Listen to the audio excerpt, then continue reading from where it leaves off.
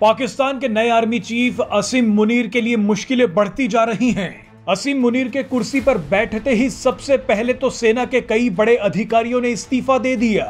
सेना के ये सभी अधिकारी इमरान खान के करीबी थे, लेकिन इसके बाद अफ़गानिस्तान के तालिबान और टीटीपी ने पाकिस्तान को चुनौती देकर असीम मुनीर की मुश्किलें और बढ़ा दी हैं। असीम मुनीर के लिए सबसे बड़ी चुनौती अब अपनी इज़्ज़त बचाना है। इसी के चलते असीम मुनीर पीओके पहुँच गए और वहाँ से भारत को धमकी दी।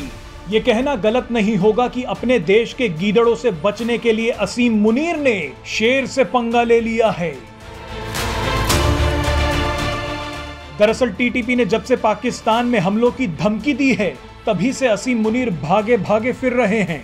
भागते भागते असीम मुनीर पीओ के पहुँच गए और उन्होंने वहाँ से भारत को धमकी दी और कहा कि वो हर तरह की लड़ाई के लिए तैयार हैं। असीम मुनीर के पास अपनी नौकरी बचाने का एक यही रास्ता था। सबका ध्यान भटकाने के लिए असीम मुनीर ने उसी मुद्दे का ज़िक्र किया, जिस पर लगातार भारत बयान दे रहा है।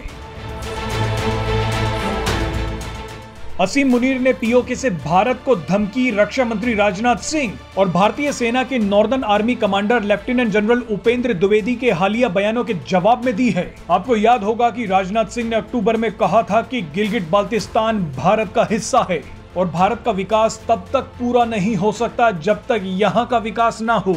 भारत वैसे ही पीओके पर हमला करने की तैयारी में बैठा है। और अब तो खुद पाकिस्तान आर्मी चीफ पीओके में पहुंचकर भारत को हमला करने के लिए उकसा रहे हैं। असीम मुनीर ने पीओके जाकर भारत को धमकी नहीं दी है, बल्कि भारत को पीओके पर हमला करने का एक सुनहरा मौका दे दिया है। रक्षा विशेषज्ञों के मुताबिक असीम मुनीर अपने boss, retired general Qamar Javed Bajwa की तुलना में भारत के लिए ज़्यादा मुश्किलें पैदा करने की तैयारी कर चुके हैं। सार्वजनिक तौर पर उन्होंने पहली बार पीओके से भारत विरोधी बयान दिया है। ऐसे में ये सोचना गलत होगा कि वो कभी भारत को अपना दोस्त समझेंगे और या फिर भारत के प्रति नरम रुख अपनाएँगे। असीम मुनीर वो शख्स हैं जिनके आईएसआई चीफ रहते हुए भारत ने फरवरी 2019 में पुलवामा आतंकी हमले को झेला था। भारत इस बात को अच्छी तरह से जानता है कि असीम मुनीर इंटेलिजेंस के महारथी हैं और जम्मू कश्मीर के चप्पे चप्पे से वाकिफ हैं। भारत ये भी जानता है कि असीम मुनीर किसी खतरनाक प्लान की तैयारी में भी हो सकते हैं। पीओके में असीम मुनीर का पहुँचना किसी खतरे की आहट हो सकती है। लेकिन इस बार भी भारत के जवान राइफल की ट्रिगर पर अपनी उंगली लगाए बैठे हैं।